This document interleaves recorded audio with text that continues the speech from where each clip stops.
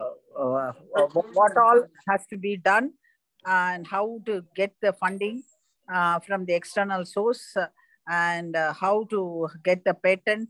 And uh, all these things has to be done still more to be improved by our institute with the help of experts who are coming for these fdp program. Thank you one and all. I think so we would go further with all the experts uh, giving their value um, value i mean value added suggestions and uh, and the requirements for our institute thank you uh, thank you, ma'am. It's very nice, and I'm much thrilled to hear that you're in an ACT inspection. And thank you for the guidance and insights, ma'am. Now, I would like to welcome our additional registrar, planning and development, and director, academic staff college, Dr. Malini Pandey. You're very knowledgeable, you're a great mentor, you're a good human being to deliver a special address. Thanks, uh, Gomati. Uh, first of all, very good morning to all of you. Uh, my warm greetings to our Honorable uh, Vice Chancellor, ma'am, who spared, really, she spared her valuable time. She, she's in an inspection and uh, to be able to uh, be here with us for even these, uh, for a short time and guide us. Thanks a lot, ma'am. Um, then I would like to thank Dr. Gomati on behalf of Staff College for organizing this program. this five-day long, very team, understanding NAAC and excelling in NAAC accreditation Today we have a, um, a big here, a brilliant person, Dr. Subodh Bhatnagar, who has been a NAAC assessor, and his profile when um, Dr. Gomati will share with you for the vast experience that he has in the field of NAAC. So thanks for sparing his time and joining us today. Um, I would like to thank all the uh, who have come here to uh, get some learning on this very important area. Now, very important, I would like to say that as ma'am told, VC ma'am told, our founder, Dr. A.C. Shanmugam, engineer they have always guided focus on important outcomes of education, of higher education. Um, I, I, think we all are aware of what that is. We are providing,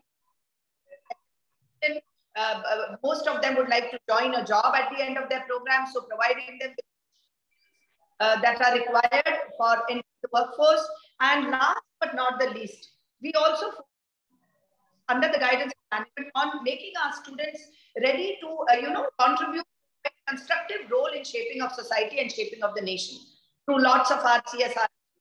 So knowledge, skill, and providing uh, um, uh, sort of uh, insight to uh, playing a constructive role for uh, on uh, Dr. MGR University wants to stand on.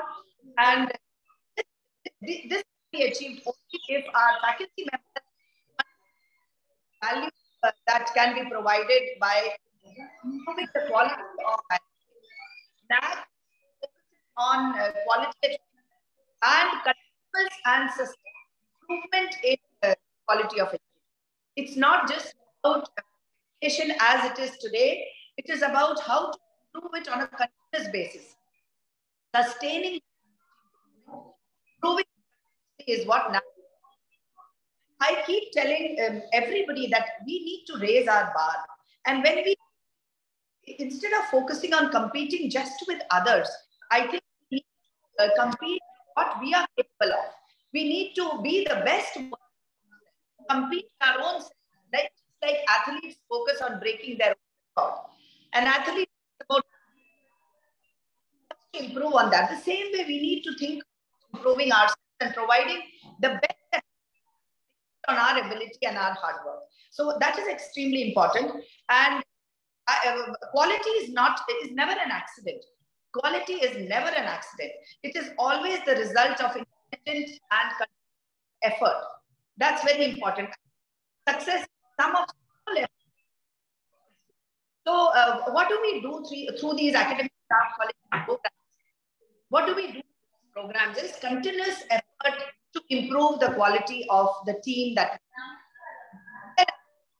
outside academic faculty members. It's not restricted just we want to contribute towards the field of education by conducting programs and the field of uh, I would just like to end by saying uh, something quality is not a habit not an act, it's a habit.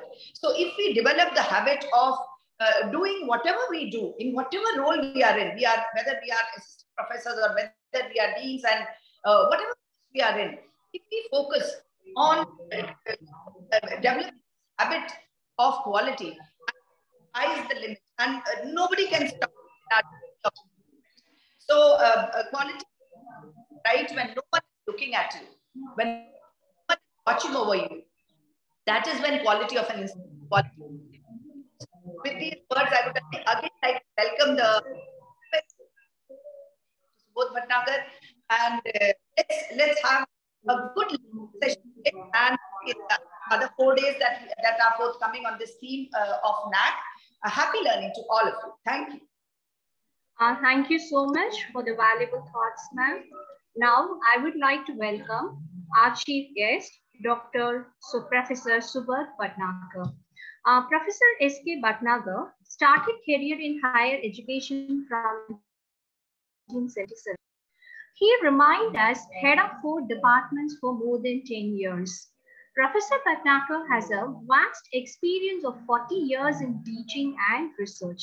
He has published more than 120 research papers in reputed peer-reviewed journals and also published many books.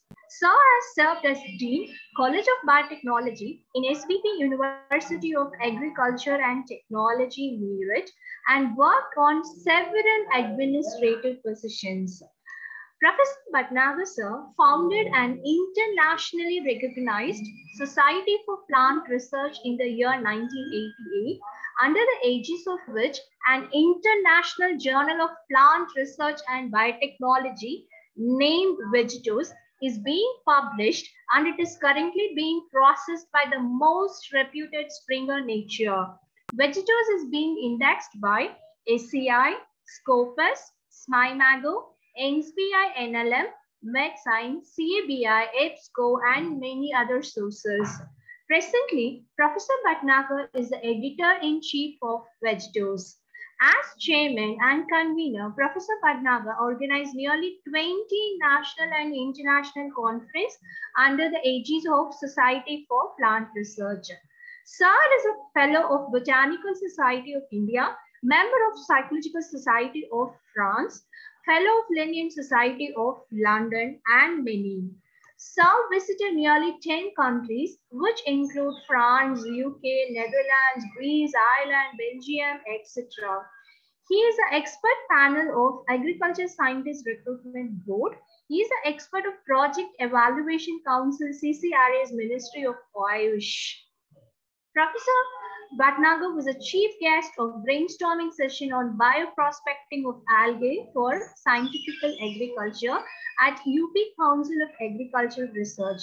He delivered large number of keynote addresses and invited lectures in national and international conferences held in India and abroad, besides popular lectures in various workshops and uh, uh, teacher training programs. With no further delay, I would like to welcome Professor Subodh Bhatnagar to deliver the talk to our participants. Dear sir. Thank you very much.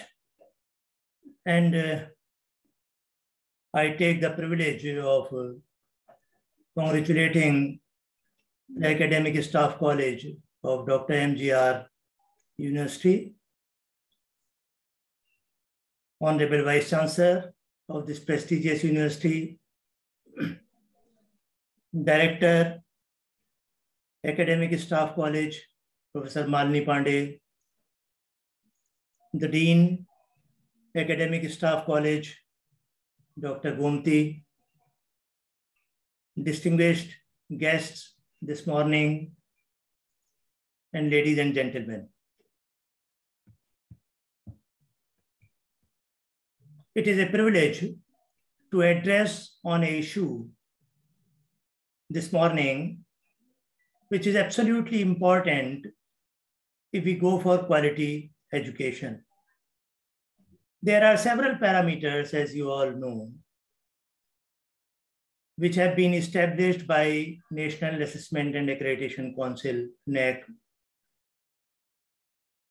And before we start, let us know that NAAC is simply monitoring that to what extent an institution stands in its academics, various parameters of academics, and what are the important drawbacks on which an institution need to focus. Basically, this is an assessment. Whatever you are presenting in self-study report, whether these findings or your assessment is perfect in the view of NAAC or for the improvement of academics or it needs some improvement. In the present scenario, you can understand that almost 70% part of your assessment is based on the self-study report you are presenting. Therefore, one has to focus on all the seven parameters which have been mentioned by NAAC.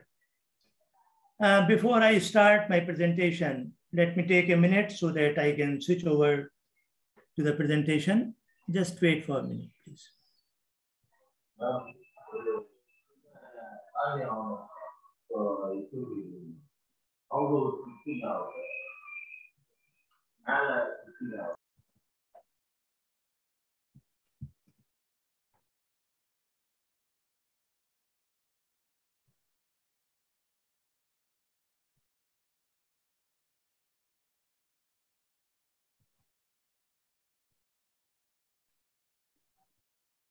I think uh, my presentation is visible. Yes, sir, it's visible. Okay, thank you. Uh, so basically, uh, the topic you can go through the slide, first slide, on which we shall be focusing is the research parameter.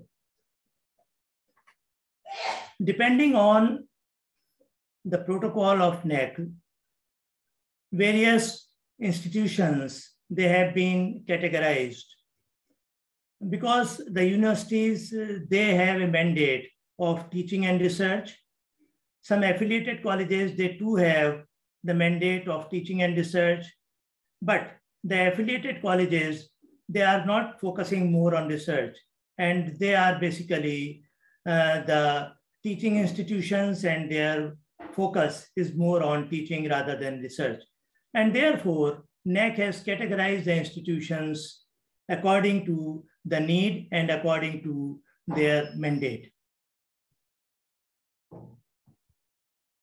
Now, as you can see, that uh, different CGPA, uh, cumulative grade point average, this everybody knows.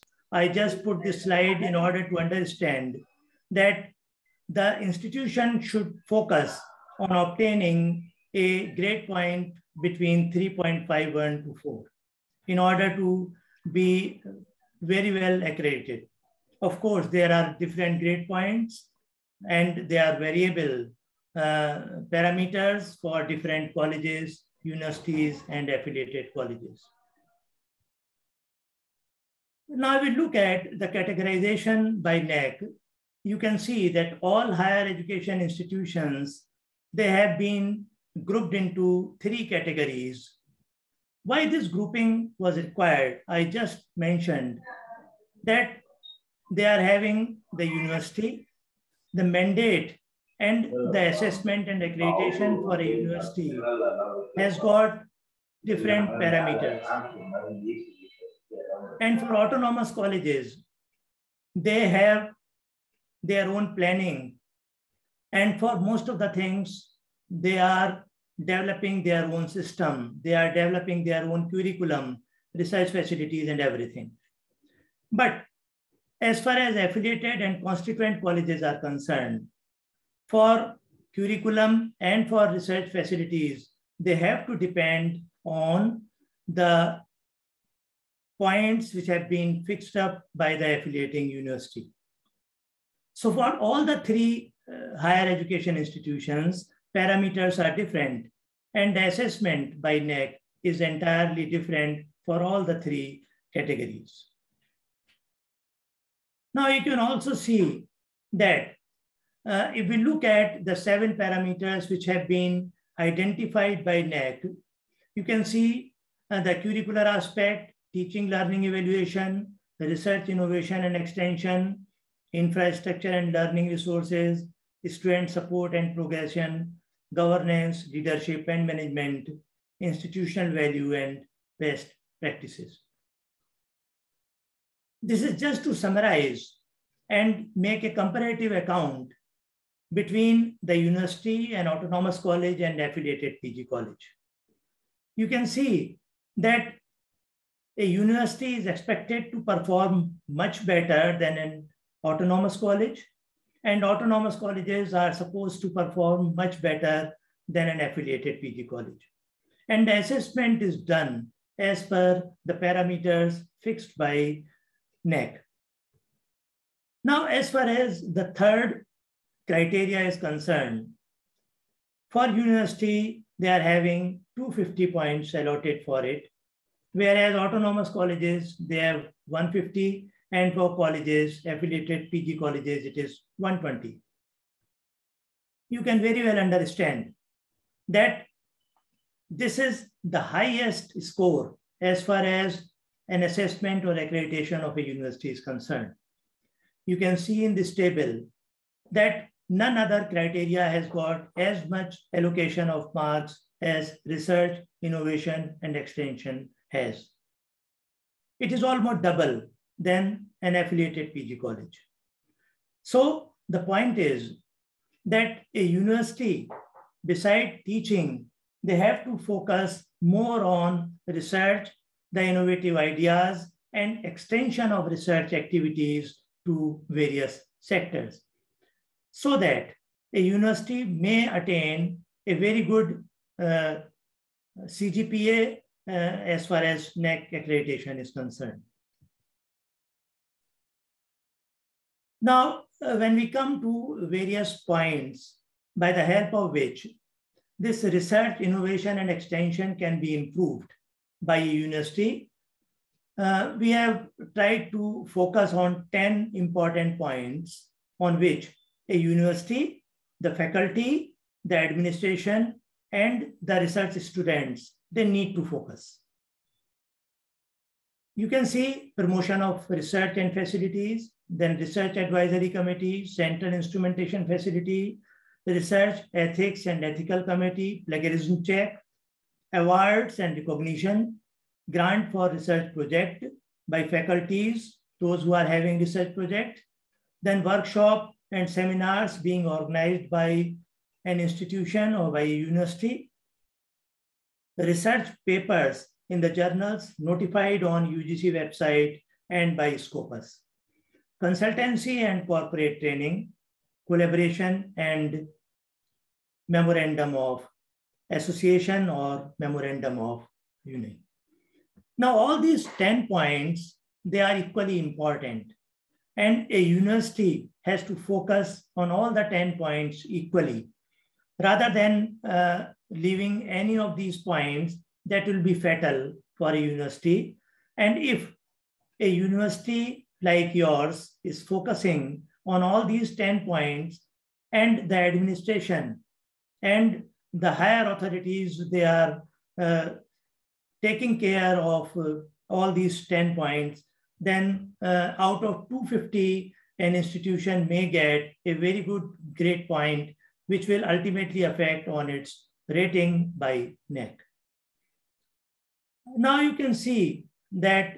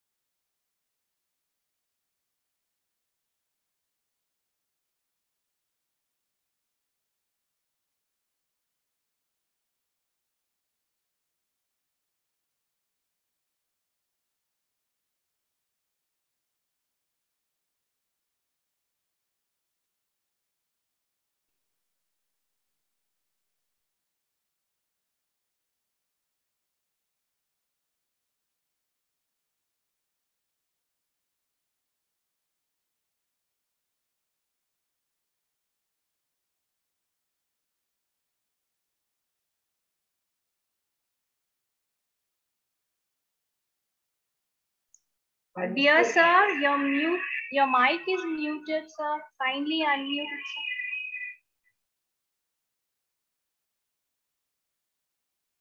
Dear Bhatnagar, sir.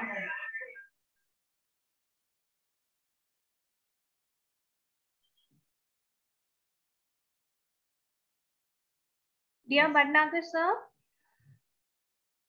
Kindly unmute your mic, sir.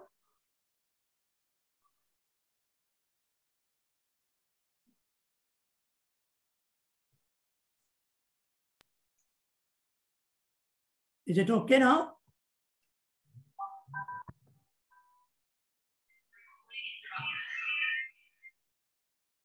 Is it okay? Ah, now it's okay, sir. So let me just go back. Anyway, so when we talk about uh, the research profile uh, for career development, we should focus more on three different aspects. One is the publication, as you all know. These publications, sometimes we are in the practice of uh, making vague publications. It has become a practice nowadays that many of the uh, young researchers and many of the scientists who have just started their career, they are in the habit of writing review articles. This is not fair because the review articles are basically coming out from those who are an authority in the field and the young researchers who uh, are in practice of writing review, they are simply making cut and paste. So such type of articles should be avoided by the faculty and they should not be approved by the director research of the university so as to gain better reputation to the university. The faculty who are publishing, who are making publications, they are awarded scores for publication. The publication in good journal. What do we mean by good journal? That I will discuss in the later part of this lecture. Now, the good publications are in those journals which are listed by Scopus, Thomson Reuters, Clarivate, and are listed in UGC CARE.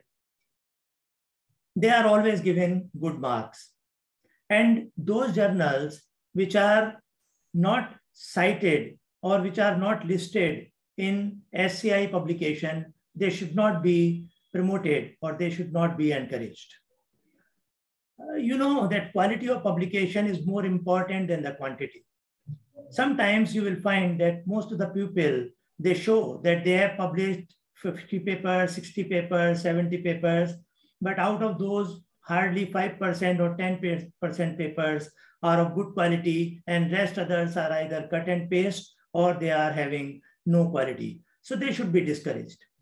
And the university administration, particularly those administrators who are looking after research activities, say director research, some people they have, some people they have some other designations, they should discourage such type of publications by the university faculty. Now, beside this, uh, many of the scientists, they are attending conferences and sometimes the conferences, they are publishing abstract only. So these abstract, they are also given very minimum weightage. But if the conference publications are coming out in the form of a special volume of a journal, or they are being published as a proceeding of the conference, then uh, these full papers, they are given different weightage. So simply putting an abstract in the conference and getting marks is not important because very meager marks are given and in none of the accreditation of NAAC, such type of conference abstracts are given much weightage. So the scientists, faculty, they should focus on publishing full paper of the conference, if at all they are publishing the proceedings or they are bringing out the proceedings in the form of a special volume of the journal. Now, uh, one paper has got many authors. So these authors, they are given equal weightage. Say five authors are there, then all the five authors, they will get equal weightage as the corresponding author has. Another important point to increase research profile uh, is the project. Now, these type of activities are basically more important when a person is going for career advancement scheme. They have to be promoted from one uh, strata to another strata. Then all these points as per the scorecard established by uh, uh, NAAC or specialized particularly by uh, NAS, National Academy of Agriculture Sciences. So there is a definite scorecard on the basis of which the scientists, they are given promotion. So for career advancement, projects are very important. Now there are two types of project. One project is that in which the university is giving some seed money.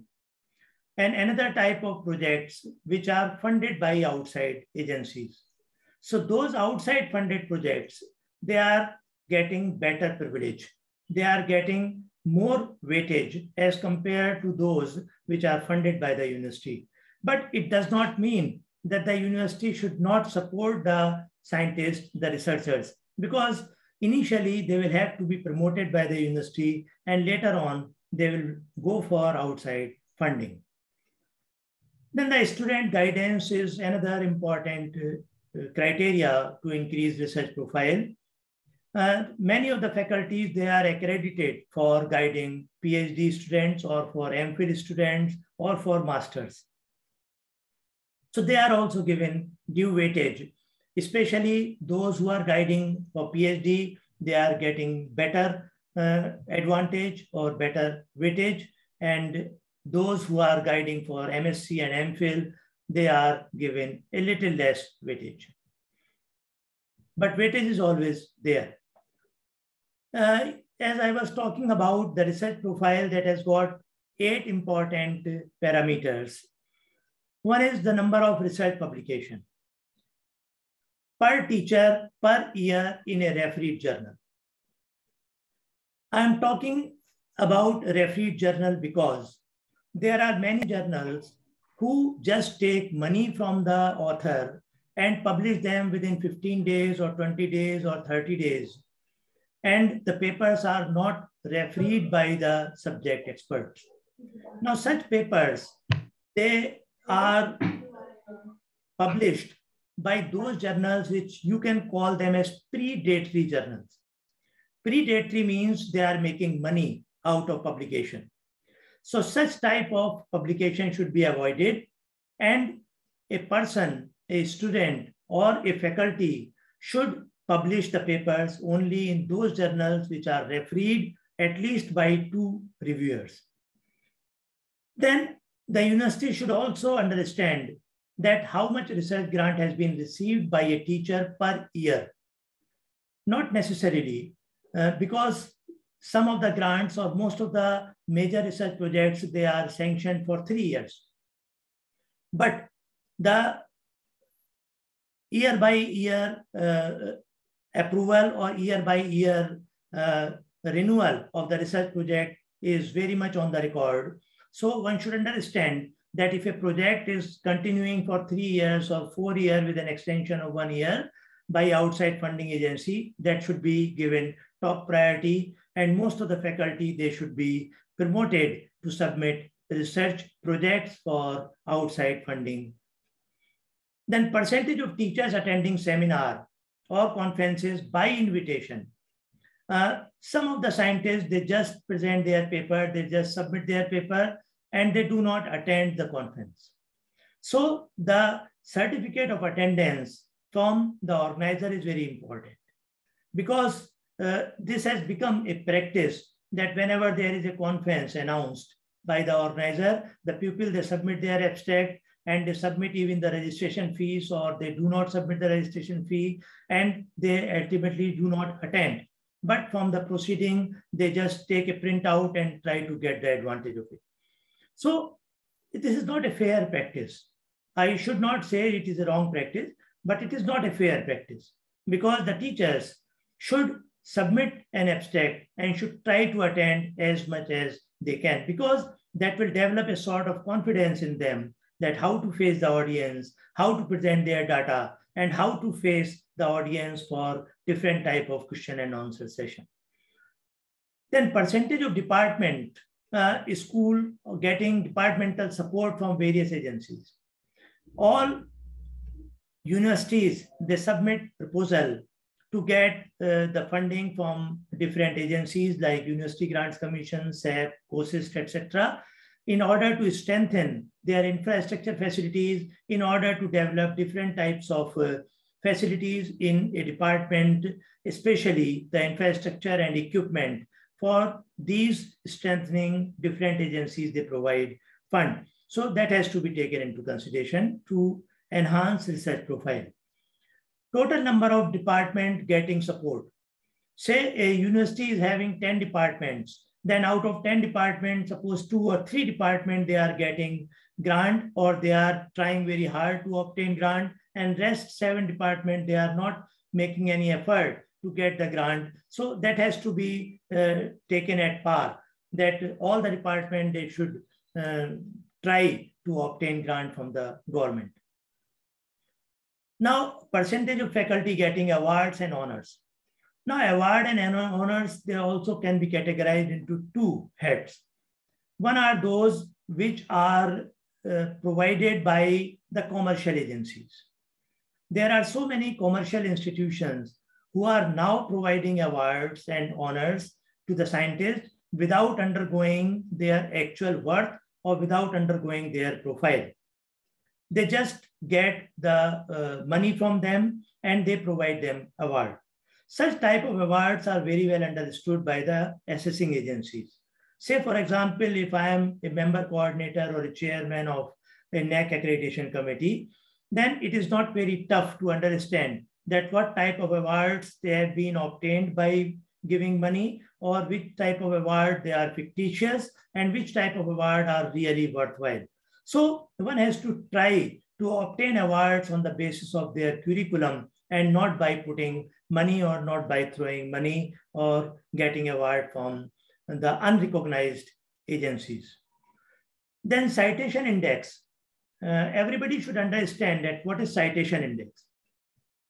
Citation index, suppose if I am publishing a paper and that paper is of paramount importance and a large number of scientists are citing my paper for different researches or different type of researches are taking help of our paper, then the citation index of a paper continuously increases. This citation index is very important for all the papers. Either through Google Scholar, they can understand that how many times the paper has been cited or uh, how many scientists they have cited your paper. That indicates that what how important is your research. Suppose your research is not drawing attention of uh, many people and citation index of the paper is not increasing. It means you need to improve your field of research, area of research, and you should focus on the type of research which can be cited, which can be of importance to majority of scientists, majority of people, therefore the citation index will increase. Uh, the university should also uh, focus on the percentage of full-time research scholars. Some of the universities, particularly some in some private universities, number of research scholars keep on increasing. And these research scholars, they are not uh, actual, they are virtual research scholars. Means they are working at some other places and they may or may not work at some other places, but they are registered with some university. So we have to focus more on those research scholars who are really working, who are coming to the university and are enrolled with the university for various researches. Only then you can produce some quality research. So all these points are very important to enhance the research profile of a university. Now, uh, a university can develop this type of chart, which I tried to uh, focus department-wise. Suppose you are having one, two, three, four, five, six, or multiple number of departments. Then in each department, you can prepare a chart that in 2019, 20, 2021, and how many papers have been published in SCI journals and how many are proposed to be submitted in the coming year or 2021-22. Likewise, how many conferences, international conferences have been attended for three years because you have to maintain a record for at least three years. Uh, and that three years should be really, that should be depicted, that should be on board and that should not be fictitious. I mean, sometimes we make uh, certain statements, we prepare some data in order to project it when the NAAC team visits. So that is not fair. We have to be very uh, practical and this data has to be uh, prepared uh, almost every year by the concerned officers or by the concerned department. Research projects, how many research projects are there and what is the actual fund which have been granted to them, number of projects, how many projects were there in the university, then how many patents and copyrights have been filed for the researches. Patent and copyright we shall discuss a little later. Then how many PhD have been awarded in past three years and how much consultancy and testing has been done and how much revenue has been earned by the university out of these practices. So these are, this is the chart through which you can maintain a record and that record will be very helpful when a NAAC team visits and especially when you are preparing a self-study report for submitting to NAAC. As I told you that almost 70% of the accreditation depends on what data has been submitted to NAAC and whether NAAC is satisfied with that data or not. So 70% marks you will be getting out of the SSR uh, quality and the data presented and only 30% will be done by the team which will be visiting.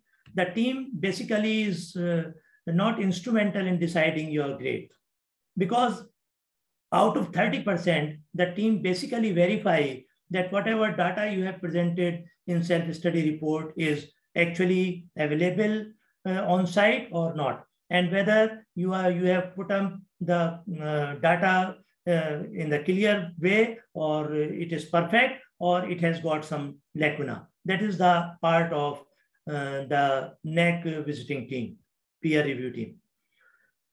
Uh, now you can see that uh, if you want to stimulate research in your university, you have to uh, go for uh, uh, a research advisory committee.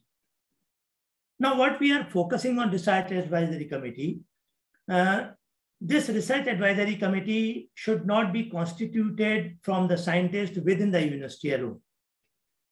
The scientist or the director research or the senior most scientist who is looking after the research activities of an institution that particular person should be the chairman of that team. And how many departments you are running at least one expert from each department should be invited either from the nearby universities or from distant universities so that if you want to improve the type of research carrying out in your university then you should seek the opinion of different experts they will always help you rather than uh, thinking that why to call the people from outside, why to waste money, why to give them TA and DA and just give them hospitality. No, this is a meager amount uh, in comparison to the expertise you will be getting from those experts.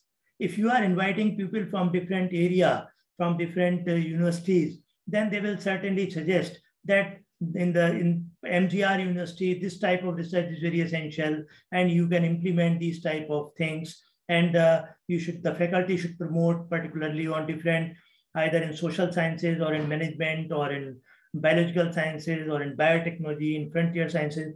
So different type of expert they will give you an opinion, and the director research will compile it into one uh, um, data or they will prepare a data and on the basis of which the research will be promoted.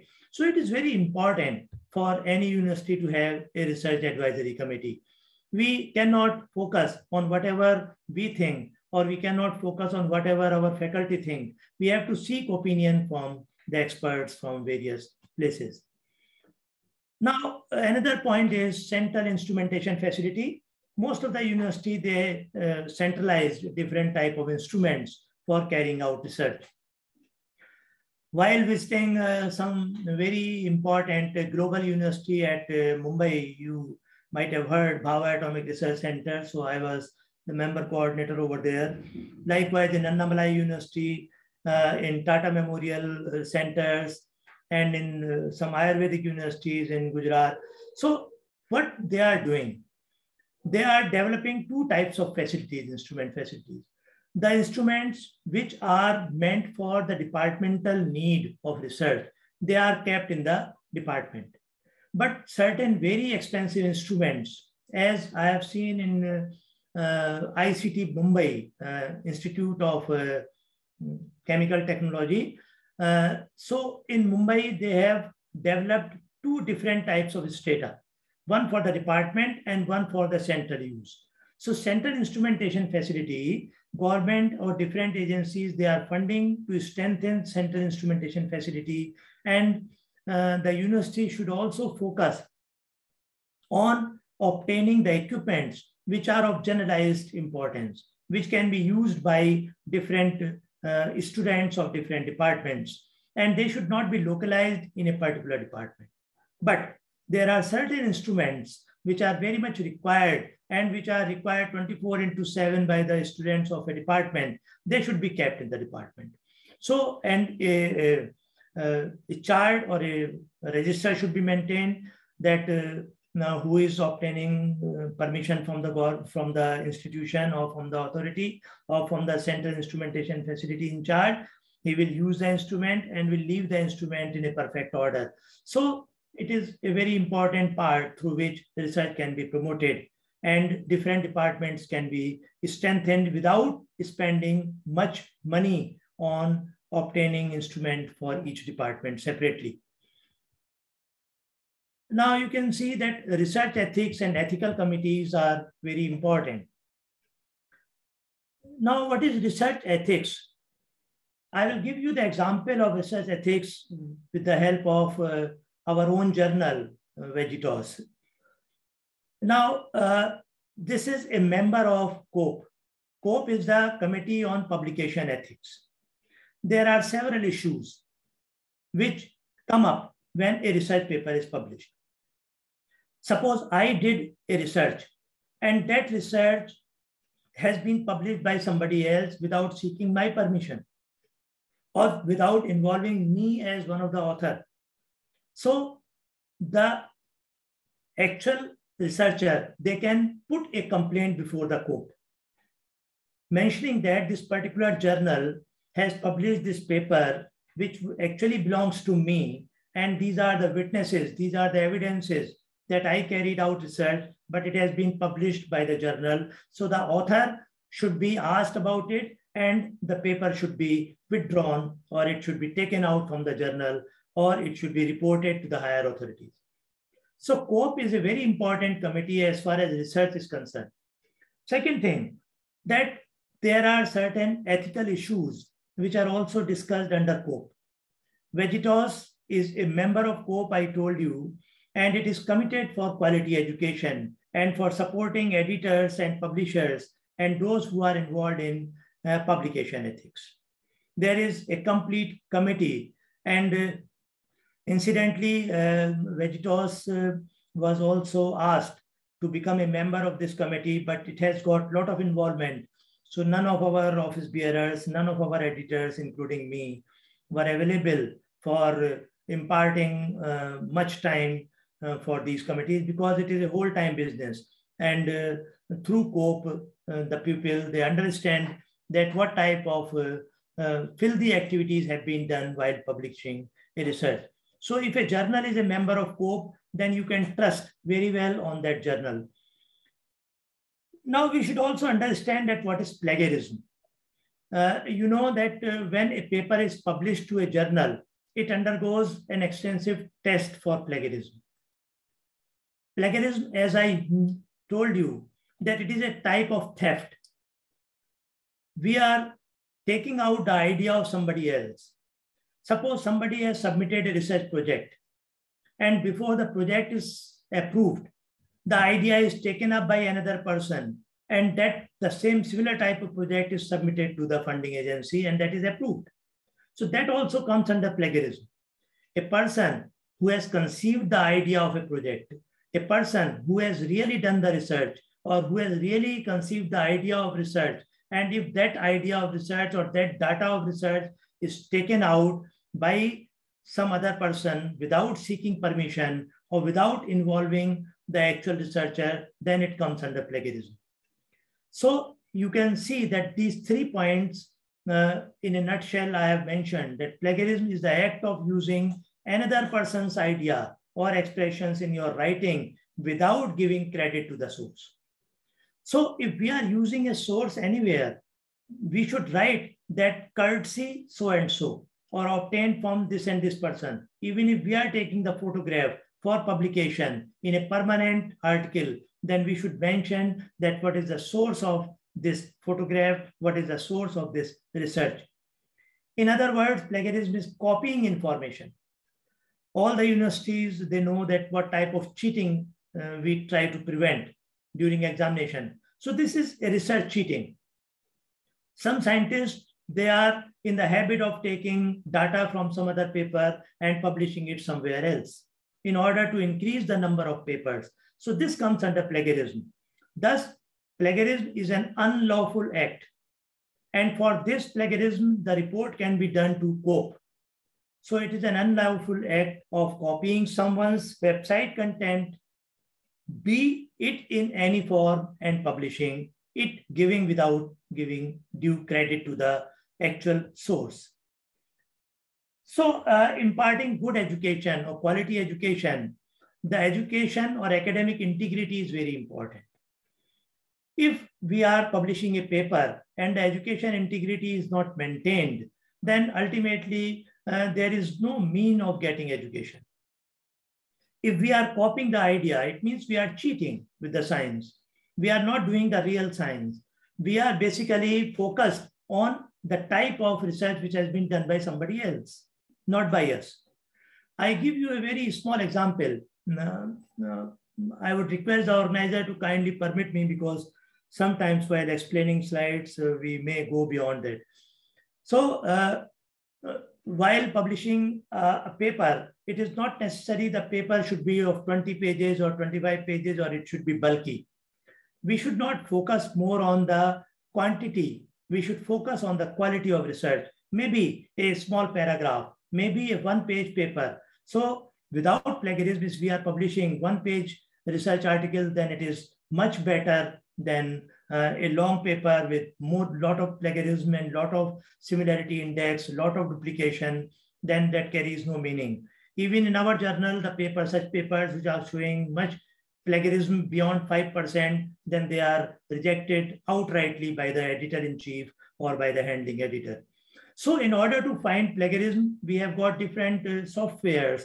I have just mentioned uh, uh, this iThenticate, which our journal is uh, uh, focusing on or believing on. Then Turnitin is also there. So uh, different types of softwares are available online and otherwise who can check that what type of plagiarism is there, how much percentage of plagiarism is there.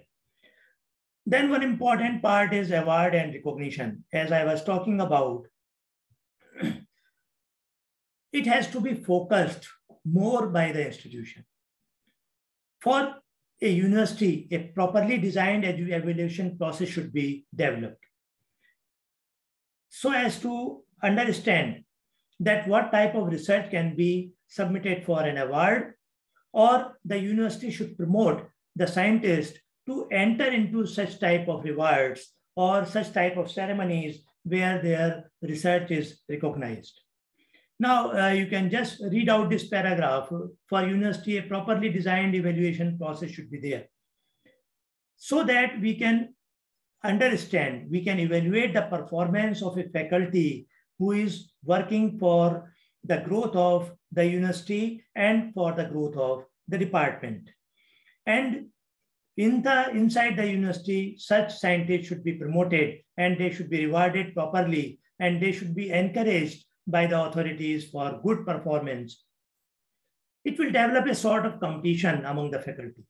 Because if you are encouraging a good performer, the other person who is not performing well because of one or the other reason, they will try to understand that this particular person, this particular colleague has been encouraged and rewarded by the university, then I should also do some effort or should make some effort so that my number should be the next.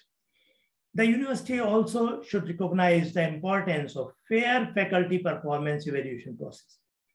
I am focusing on the importance of fair faculty performance. Fair word is very important because sometimes we are biased. While evaluating the performance of a faculty, we are biased.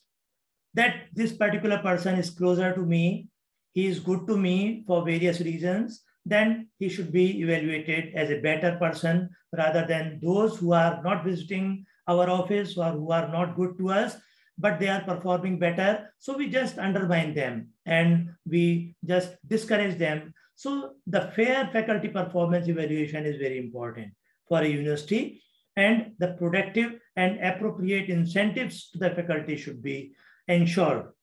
So university, uh, it's a big university or MGR university is a big university. So they can uh, give some incentives to the faculty. All these practices, they will promote them to do much better. And ultimately the cumulative effect of all these individual effort, they will add to the recognition of the university and they will add to the uh, better grading by NAAC. Now incentive scheme, schemes may be uh, variable that can be uh, discussed and can be finalized by the university authorities themselves. A multidisciplinary advanced facilities supported by research funding from the government, they can also be developed. Advanced facilities uh, so that the scientists, they can go for uh, submitting their proposal to the government. Then the research scholars and the faculty, they should be given seed money. Uh, seed money, everybody understands that when uh, we conceive an idea of research, ultimately we require some initial money so that we can understand that this particular uh, type of research will be feasible to carry forward or not. So for carrying out the basic research so that a proposal can be framed in the time to come, that should be arranged by the university and there should be some provision of giving a seed money to those scientists who are really willing to submit a detailed proposal to the government. Now, evaluation of award, there should be a, a committee which should uh, understand that uh, the performance review system and the performance incentive scheme, they should be arranged by the university so that they can uh, submit the names of those scientists who are showing good performance and to whom the incentive should be given on the basis of their performance. Now, uh, the new evaluation process is to appropriately quantify the academic and research performance. And we have to quantify that what, whether the research is going on in the real sense or not. So in order to quantify the academic activities and the research performance of faculty members, this type of uh, PRS and PIS, they will be very helpful. And the good performers will be rewarded with the incentives throughout the year so that the university, they will develop uh, an, uh, an insight among those who are not working at the moment, but they will be promoted, they will be encouraged to do better work for the university, and it will ultimately add to the uh, rating of the university by NAAC or by other agencies. Now the faculties will fill up an online form for research performance, as everybody knows. They will put up their publications, research projects, and student guidance, as I just told and the university may provide an incentive. Uh, we have just suggested that they may be divided into different groups like A, B, C, and D. The group A may be awarded up to a minimum maximum of two months of additional salary for the year or as per decision by the competent authority. This was the suggestion which has been given through this slide that these type of incentives, whatever incentive the management decides as per their resources, they can do that. But such type of incentives, they will help and will encourage the scientists. Group B, C, D, they may be given 1.5 months, one month or 15 days, additional salary or some incentives for the year or as per decision by the competent authority. It will create a competitive environment. This is what I was focusing about, that competitive environment among the faculty is very important. Now, uh, by getting award uh, instituted by the government agencies and by different other uh, well-known institutions, they add to the confidence of the faculty. Because if the faculty is doing research and their researches are recognized at a national or international platform, then ultimately it boosts up their morale. And when the morale is boosted up, then ultimately they want to perform much better as they are doing today. So uh, this is one clip which I just put up in the slide to promote the young scientists and the faculties of your university. This is VASVIK Award and it is the most prestigious award which carries one lakh cash amount and it uh, you can see on the right hand side is the, the then Director General of uh, the Council of Scientific and Industrial Research, Dr. Uh, R.A. Mashelkar. So in Mumbai, this award was conferred. Uh, and such type of awards are instituted by various government bodies and by University Grants Commission, by some very renowned societies. And these awards, they add to uh, the crown of the university and to the individual faculty. Now, grants for research project, uh, as I told that the corpus fund should be created by the university. Corpus means if a scientist is willing to submit a project to uh, outside funding agencies and they want to do some initial research in order to test whether this type of research is worth submitting or not, then the university should help them in the form of a small seed money. And for that, they need to develop a corpus fund for genuine research project. I am using the word genuine because it should not become a practice among the faculty that we are doing this type of research and we need some seed money and that seed money will bring out nothing. So the research advisory committee that need to evaluate those proposals also for which a particular type of research has to be carried out. And it is very important for career advancement scheme because the scientists, they will require these type of research projects. I also mentioned that a committee of senior academics be constituted as we were talking about uh, in the research advisory committee, an internal committee of the university can be constituted, which is which should have the senior academic people. Uh, they may contact them online or offline, uh, and they should recommend the scientist according to their proposal in each department or in each faculty, in management uh, separately, in social sciences, in life sciences, in other different types of medical sciences, in uh, pharmacognosy or different types of departments. They can identify and can uh, promote them by uh, preparing a proposal. And for that, a corpus fund should be there to uh, provide them some initial money. Besides this, the startup projects, they can also be taken up uh, by the university. As you all know that there are so many uh, institutions and for fundraising, the university should always try. Particularly, the university authorities should promote the scientists to obtain more and more funds from the government. Because whenever you are accredited by NAAC, you become eligible to obtain grant from different agencies. As you can see that the University Grants Commission, RUSA or Rashtriya Uchchatar Shiksha Abhiyan or National Higher Education Mission, likewise the Council of Scientific and Industrial Research Similarly, the Department of Science and Technology and so many others, particularly in social sciences, in management, and in other uh, groups of uh, uh, other faculties of your university. You have got different agencies which are ready to fund, provided the proposal is good and the proposal is approved by the subject expert. So you should focus more on fund raising from external sources rather than uh, from uh, focusing or from uh, depending on the fund uh, from the university resources. So ex outside fund, they will strengthen the university and its infrastructure as well.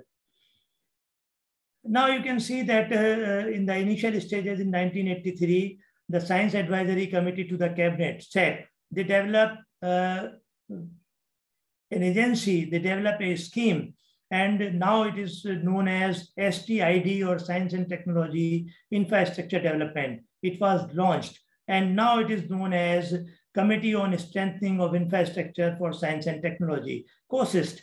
This is one way of obtaining fund for infrastructure development. And through this type of uh, uh, agencies, the proposal can be floated by the university and by the faculties and uh, the fund they can be obtained from different government agencies. Uh, it will prevent the investment of fund from the university resources and will take the fund from the government so as to uh, understand that what type of research can be carried out. Uh, now, uh, this is the same strengthening of infrastructure can be done, future enhancement can be done, and you can promote science and engineering and technology innovation and uh, submit different types of patents for further research. Now, startup, as everybody knows, in the present uh, scenario of five, seven years, more startup opportunities are there. And the young scientists, they can go for a startup in various areas where they can get fund from the government and they can develop some good earning resources for the university. Now, you should also organize workshops and seminars. Now, what happens when you organize a workshop? It means whatever mm, intellect you have in the university, that intellect is uh, transmitted to others through workshop. And that may not be a, a, an area for resource earning, but it may be an area for knowledge dissemination. And through uh, workshop, you can educate the nearby institutions or nearby scientists who can be educated how to run a project, how to publish a paper, how to uh, uh, work for a particular, uh, or how to improve your teaching or research or different type of things you can educate them or how to utilize particular type of equipment. So these type of workshops and seminars, they are very important for a university. They need to organize at least one or two seminars a year in different disciplines. Now, uh, whatever outcome of research is there, that can be uh, identified, that can be recognized by Center for Intellectual Property Research Promotion and uh, Facilitation CIPRF, or you can submit your patent. If you do not want to publish your paper, you can go for patent. Patent is not focusing or patent is not important for a very quality type of research. Suppose somebody might have formed a needle in the earlier time and that needle was an innovation. It was a small wire with a hole at one of its end and that needle was patented means that was the innovation done by a scientist. And that needle in the different modified form is becoming a paramount utility nowadays, and it has been modified. But the patent goes to a person who discovered needle. Similarly, very small things, they can be discovered by the scientists, by the young researchers, and they can be patented. And for that patent, the seed money is also provided by the government. So the research papers, I will go hurriedly because the time is running short. Research paper, they should be published in UGC and Scopus notified um, journals. What is a good journal? Everybody knows that they should be, uh, I mean, they should be listed in some very renowned international database. So I also told you that uh, Springer Nature in which our journal is being included, we are also the member of DORA. Uh, what is DORA? DORA, you can understand, it stands for Declaration on Research Assessment. I mean, how type, what type of research you are doing, we are declaring that we are doing good type of research and we are publishing very good research. So our journal, Vegetos, is also a signatory of DORA and Springer Nature is also a DORA. You can see these much of papers are submitted almost every year and much of the papers, they are rejected. Every journal in various areas and the rejection is much more higher because the quality of research is lacking because of plagiarism, because of so many malpractices. So we have to identify the real research so as to publish them. They are abstracted in different database and UGC Care, I have focused more on it, UGC Care and Scopus. And besides uh, PubMed and other database, your paper should get, your journal should be listed in Scopus or in UGC Care particularly for the traditional university, UGC Care has become an important tool. And if the journal is rated in it or listed in it, you can get a better advantage. Now, Web of Science is also there, then PubMed. Uh, most of the papers who are related to medical sciences or are associated with medical sciences, they are um, uh, indexed in PubMed. So there are different things. Then UGC Care, uh, there is a list which has been declared by University Grants Commission. This is NAS, National Academy of Agricultural Sciences. And through this link, you can reach to the NAS listed journals. means most of the journals which are either of agriculture sciences or biological sciences, they are available on it. Now in UGC CARE listed journal, you will find the journals of different disciplines, not only science, but humanities, um, management, and other type of uh, journals you will find. This is the latest list. You can either visit on it or you can go to the UGC website and can obtain this list. Now the institution should also start a research journal of their own. They should start two or three journals from different faculties. From management, one journal should come up. From life sciences, one journal should come up from social sciences, one journal should come up, and that should be an established journal, should have a better rating, and should publish quality journal. That is also one point which help you in NAS rating. Now, consultancy and training is also important. Whatever knowledge you are having, you should develop uh, a consultancy wing so that the scientists should provide consultancy to the young pupil or those who know that in what field the MGR is doing excellent work. So they will extend their hand to join you and to obtain some expertise from you in the form of consultancy. This not only will help in revenue generation, but will help in establishing your university as a resource for a particular type of knowledge in different areas of research. So if you are developing good consultancy, then forget about revenue generation. But what you are doing, you are establishing the strength of your university and you are uh, giving it a better recognition in the society that particular university or MGR is providing this type of consultancy because they have the experts in this area and it will be a wonderful thing for the university. More consultancy you are providing, it means more expertise you have and more expertise you have, it means better ranking you will be able to obtain in NAAC or not only NAAC, in some other accreditation agencies also, you can prove better. So it will give you the global status, as you can see, that we can provide consultancy not only in technology, but in education as well. We develop certain courses with the help of external university or from outside university and can give them consultancy or can provide them degree in a dual degree system, which is already permitted by University Grants Commission now. Then collaboration and MOU, we are just concluding uh, the lecture this morning. Uh, MOU uh, is a very important thing for the growth of an institution. We should not be a self-centered university. We should identify the type of research other universities and other institutions are doing. Forget about that uh, there are some small institution in the nearby area and these research institutions are not up to the mark of a university, but for a particular type of research, they are known everywhere. Then you should not be hesitant in developing an MOU with them. Do not, the ego should not come in between while developing an MOU. That we are university, why should we develop an MOU with a, with a small college or with a small institution? If that institution or that college is doing something very good or that is recognized globally, then you should not be hesitant in developing MOU with that institution so that your university should grow. You can send your students there for training. You can call their students to your institution for training. And this type of MOU should be developed. You can use their equipment, they can use their your equipment. And such type of mutual coordination will strengthen the university and will help in disseminating these type of work to other institutions. Now, uh, with this, I conclude and I thank you for your patience. Uh, and uh, it was a wonderful time and I would love to interact with the faculty if they have got any query. Thank you very much. Thank you so much, sir. It was wonderful. You covered every nooks and corner and aspects of the research, especially in the vision of NAAC. Uh, now is a questioner session. If participants have uh, any questions, they can raise. Uh, while you're asking the question, kindly unmute yourself and you can ask the question to Professor Bhatnagar, sir.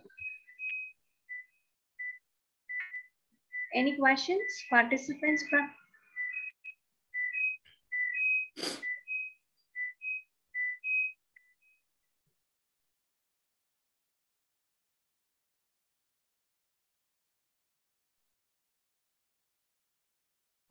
Any questions from the audience?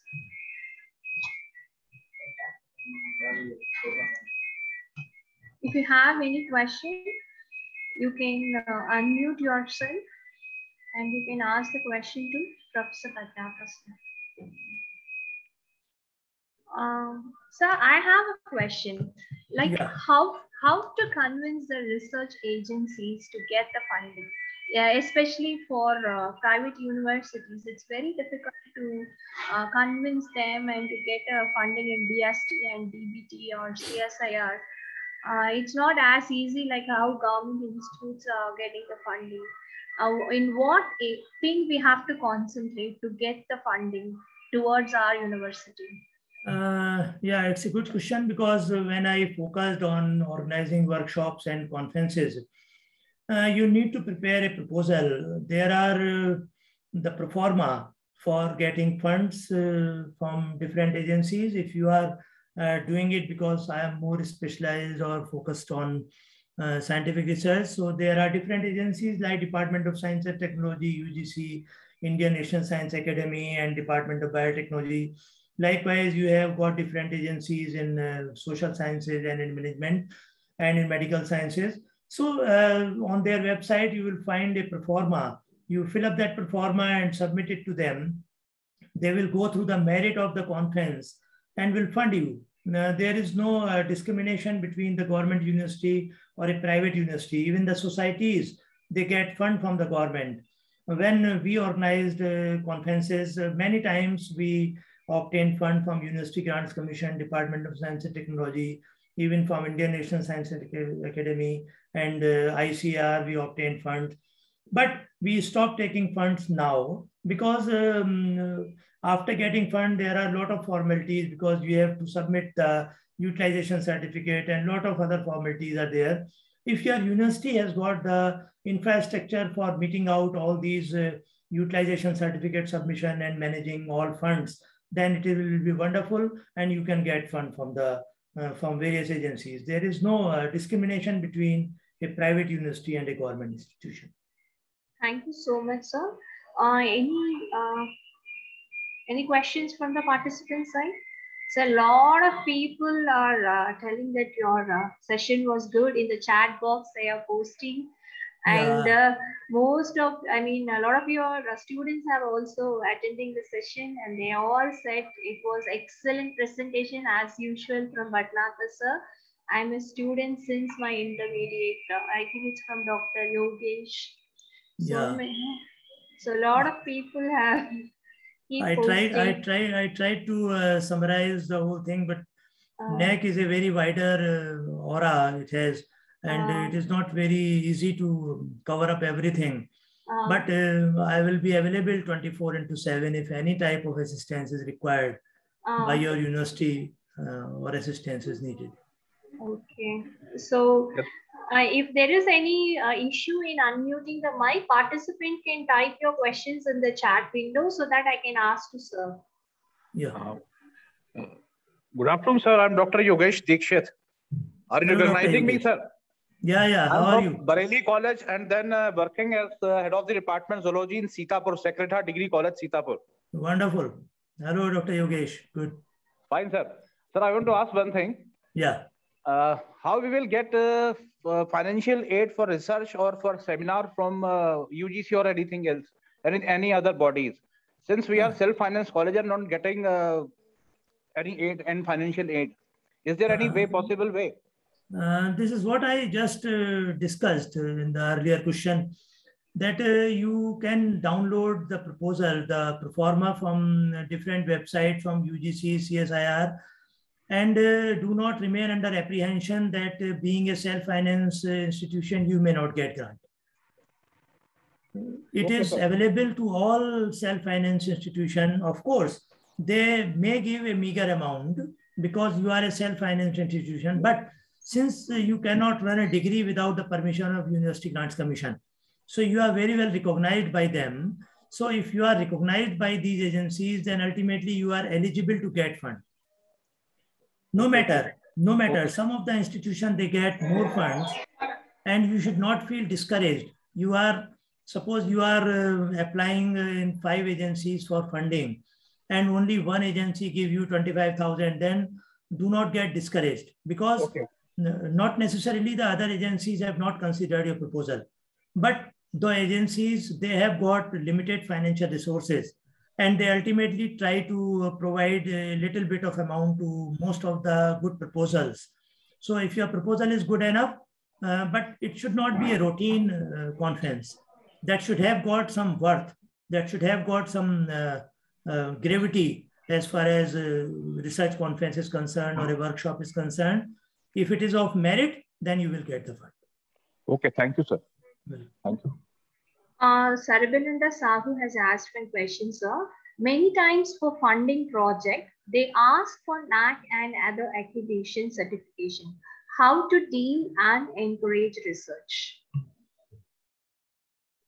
Uh, in my presentation, I told that uh, the encouragement, they can be done in various ways uh, so that the research can be promoted at an institution level.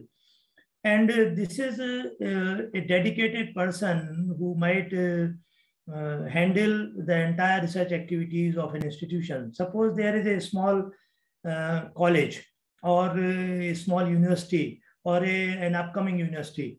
Then they have got uh, the head of the department, they have got deans, they have got director research, they have got director administration, or even the pro vice they look after all these things then they should call a meeting of the faculty. And the faculty they should be asked that what type of expertise you have. Because you are not appointing a faculty who is simply msc you are appointing a faculty who has done the phd degree or obtained phd degree or have done a quality research before they joined your institution. So the expertise of every faculty is always there. So you can ask that why do you not want to continue your research further?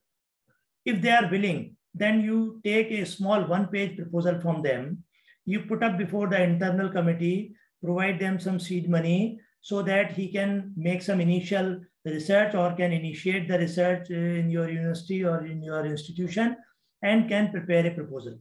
Say, for example, you are giving 10,000 to a person. He will be able to start with a small proposal and he will try to find out, articulate data and will prepare uh, a complete uh, proposal with an objective. And that proposal can be put up before the research advisory committee so that necessary input can be obtained from the experts and then the proposal can be submitted. Because the funding agencies, they also have got subject expert. So if the proposal submitted by your faculty is going through the research advisory committee, or by incorporating the um, input of the subject expert, then ultimately when it will go to University Grant Commission or CSIR or Department of Biotechnology or any other agency, that will come across through the experts and they will appreciate that this paper proposal has been fine-tuned and it is worth uh, funding. That is the point. Thank you, sir. Uh, next, uh, a question from Professor Durai Raj. He has asked, is there any maximum or minimum number of publication based on category of teachers? I could not get your point. Publication? Uh, any maximum or any limitation is there maximum or minimum publication uh, depending upon the number of uh, teachers in the institution? No, no, that is not there. That is not there because, you know, there are certain areas in which number of publications are very less. There are certain uh, basic sciences issues, you see. Suppose English is there, suppose Hindi or the local regional language is there, suppose uh, different other uh, home science is there, then you will not find much publication. So the number of publication we cannot restrict, but in a particular area, the publication should be there and that publication should be of good quality. In science, you can have a large number of publications. In frontier areas, in bioinformatics, biotechnology, in nanotechnology, you can have better publications and they can be of good quality. But you cannot compare the publication of a science stream with the publication in a management stream or with the social sciences or with the basic sciences because they have got a different parameter. They have got different type of research. They prepare one uh, thesis in four or five years and that takes a lot of pains. They cannot bring out papers out of those. So there is no comparison between the number of papers in different departments. Thank you, sir. Uh, the last question from uh. Uh, she has asked that uh, if our institution is to submit the SSR for the first time, what should our primary focus on? Submitting project Uh, for? Uh, submitting SSR for the first time. Mhm. Uh, What Okay. should be the primary focus? Uh, as I told you that uh, the NAAC have uh, has redesigned its uh, entire protocol, and uh, they are focusing more on your SSR, the quality of your SSR, the actual input in your SSR. Therefore, I mentioned that in SSR, more focus is on research, innovation, and extension. So, what type of extension? Only research will not work. Your research is going out Therefore, consultancy is very important. Your MOUs are very important. Your workshops are very important. Your conferences are very important so that you are disseminating your knowledge to the other people in and around the university or in the entire country. So for SSR, you should have to be very objective because once SSR is submitted, you will have no excuse to modify it. Uh, recently, when I visited one um, uh, autonomous college. Uh, so there was one problem that they uh, were lacking some information in the SSR. And on the basis of that information, their marks were reduced. Then they requested the team to modify it. Then the team is not capable enough to modify anything which we have submitted in the SSR. So while preparing SSR, you will have to be extra cautious and it, you should be very objective. Means whatever you are having, whatever type of uh, things you are having, maybe a curriculum, maybe uh, your infrastructure, maybe your research facilities, maybe your publication, whatever you have, that should be very, very uh, precisely uh, presented in the SSR. Because SSR is the document which you are confessing that we have these things, which you are confessing, not the peer team is confessing. You are confessing, and if your confession is wrong, then ultimately it will reflect on your grade. And if your confession is perfect, and if you are giving the exact data in every seven parameters, in every all the seven criteria, then ultimately there is no point that you will get less marks. And 70% has is, is a big uh, quantum of uh, grade. So if out of 70 you are able to secure good percentage, then the peer team uh, will certainly provide you better ranking, better marking, and you will be right on top. Thank you, sir. Um, I think there's no further question. Uh, thank, Thank you, you. Professor. Yeah, thank you, Professor. But sir. if anybody anybody has got some query uh, Uh, other than this webinar, then they can write to me. My email ID is also there. They can Ah. write to me or can uh, send it to you, and you can forward me there. yeah, after. sir. Yes, I sir. will do that. Yeah, thank you so much. Thank- So kind of you, sir. Thank you very much. Thank you, sir. Thank you for being with us today and explaining the conducive research environment for better ranking.